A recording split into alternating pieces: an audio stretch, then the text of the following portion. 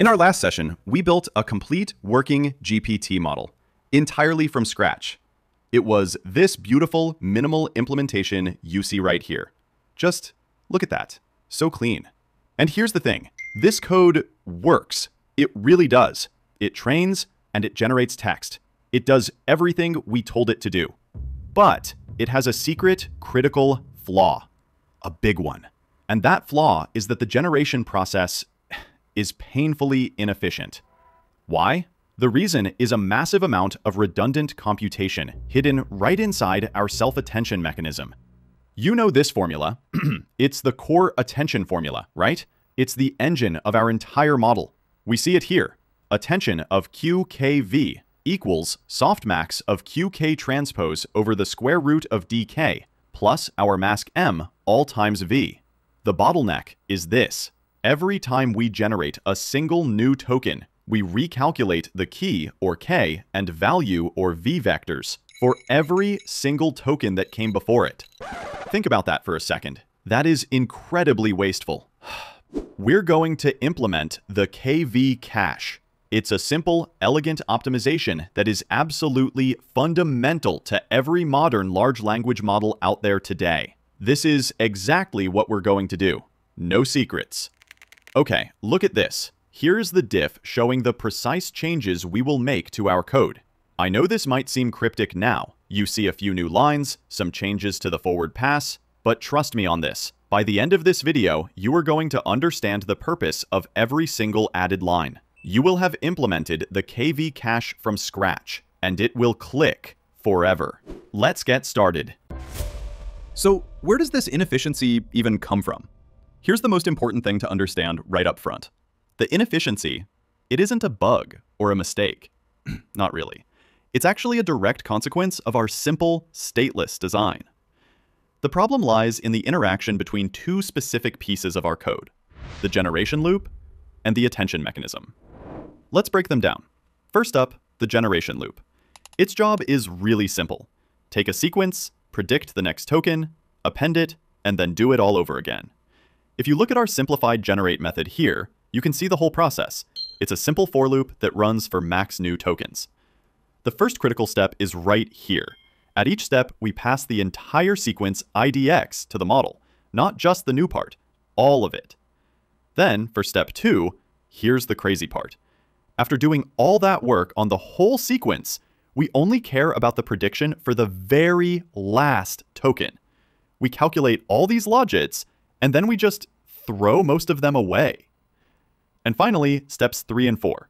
We sample a new token based on that single prediction, we append it to our sequence, and we repeat. Back to the top of the loop to do it all over again with a sequence that is now one token longer. Okay, so that's piece number one. Second, we have the attention mechanism itself.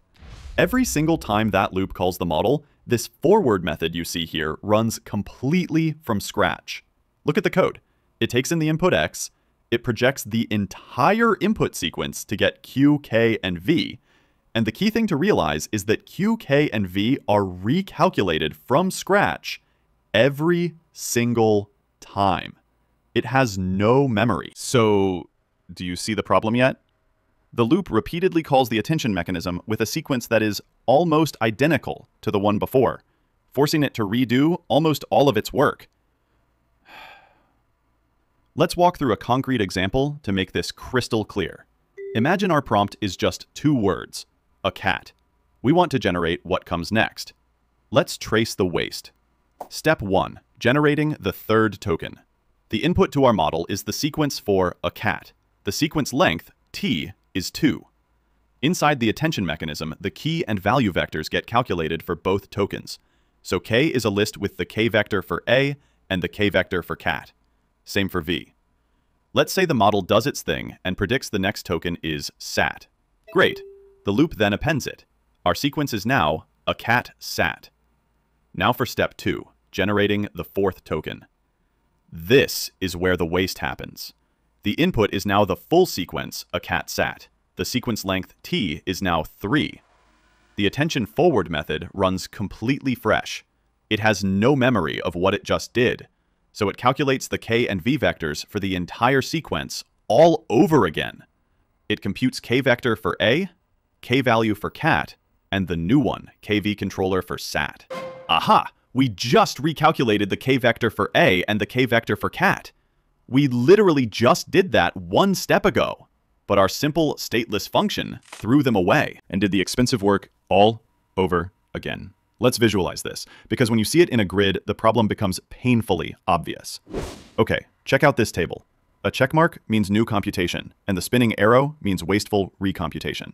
In step 1, generating SAT, our sequence length is 2. We compute the k and v vectors for A and for cat. All new work, all good. But in step 2, when we generate the next token, on, the sequence length is now 3. We need the k slash v for on, which is new, but look, we recompute the k slash v for A and for cat. Total waste, and it just gets worse. In step 3, we recompute A, cat, and sat. In step 4, we recompute A, cat, sat, and on. Do you see this triangle of waste growing? It's expanding. This grid makes the problem just impossible to ignore. At each step, we only truly need to compute the k and v pair for the single newest token. Everything else is redundant work. Let's put numbers to it. To generate the teeth token, we are performing t-1 unnecessary computations for the key vector and another t-1 for the value vector. This is why generation starts fast and gets progressively slower as the sequence gets longer. The complexity is quadratic, big O of t squared, and that is what we are here to fix. So what if, instead of throwing away the key and value vectors after each step, we just saved them? We will save them in a cache. This gives our attention layer what it was missing all along, memory. This leads us to the new, efficient workflow. The generation process transforms from that wasteful, recompute everything disaster to a much smarter, compute only what's new. Here's how it works. 1. Minimal input. We only pass in the single newest token. That's it. This means the input sequence length t is always 1. 2 minimal computation. Because t is 1, we only compute q, k, and v for that one new token. 3. Retrieve from cache. We pull the past undersk tensors, that's all the previous keys and values, right from our new memory. 4 is concatenate. We just append the new k and v vectors to the cached ones. So k full equals concatenate k past and k new. Same for v full. It's that simple. 5 attend. We use our new query, q underscore new, to attend to the full history of keys and values. And finally, step 6, update cache. We save the newly expanded kfull and vfull for the next step. The loop is complete. Let's make this concrete with our example. Imagine we've just processed the prompt a cat. Our cache is now primed. The initial cache, past kv, holds the keys and values for those first two tokens. So kpast has the k vector for a and the k vector for cat, and vpast has the corresponding v vectors. Our cache is ready. Now, let's generate the third token, which was sat. Step 1. Minimal input. The model is called with only the token sat. The input IDX has a shape of just 1 by 1. Step 2. Minimal computation. Inside our causal self-attention block, t is equal to 1. So we compute just one set of vectors, q new for sat, k new for sat, and v new for sat. Step 3. Retrieve and concatenate. We grab the past from the cache and stick the present on the end. kpacked becomes the k vectors for a, cat, and sat. vfull does the exact same thing. Step 4. Attend.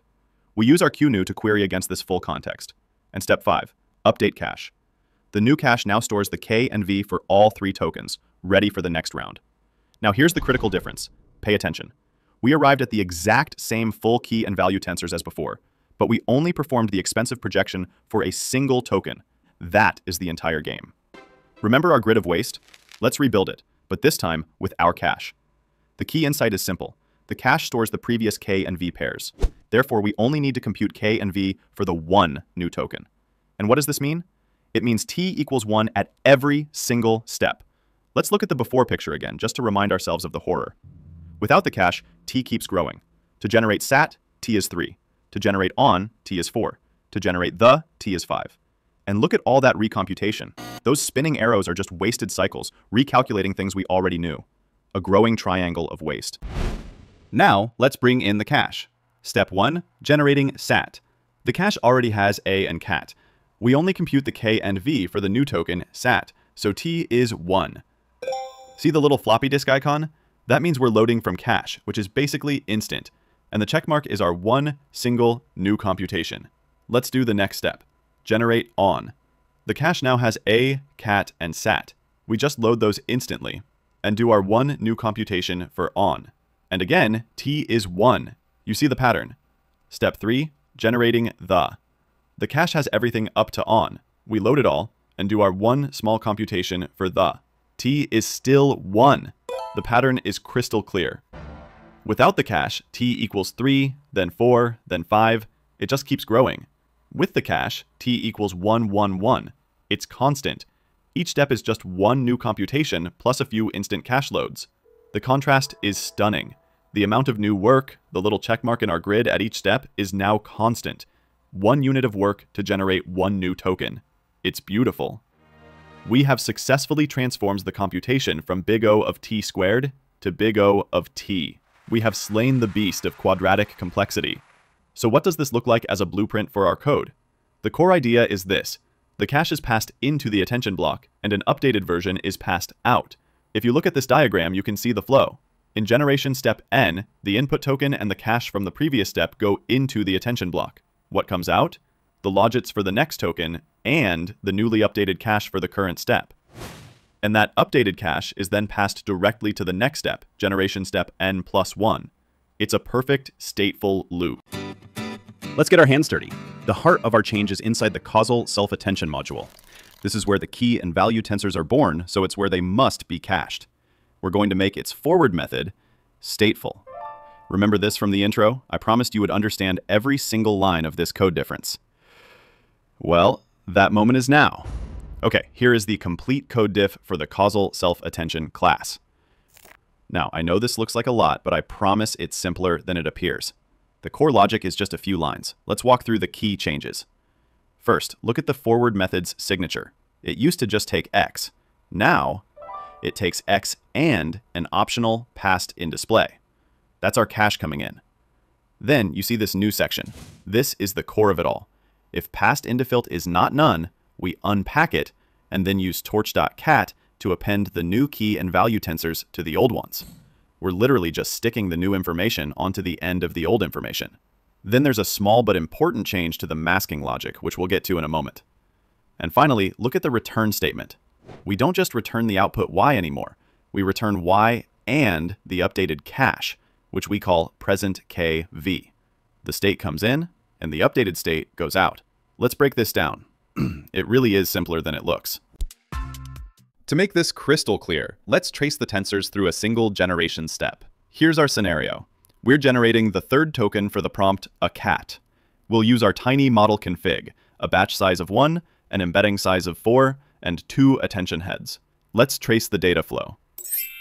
Okay, step 1, entering the forward method. The generate loop calls our new method with two arguments. The input x is for our new token, let's say it's sat. Notice its shape.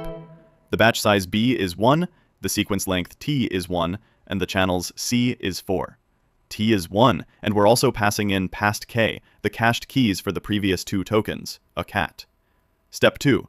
Calculate Q, K, and V for the new token only. Because our input X has a sequence length of 1, this is incredibly fast. The resulting Q, the new K, and the new V all have a shape with a sequence length of, you guessed it, 1. Step 3 the caching logic. This is where torch.cat does its magic.